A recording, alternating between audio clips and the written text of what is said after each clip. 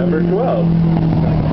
Actually, I had this as Shelby Hodgkins, which is that number, but uh, that's not Shelby Hodgkins.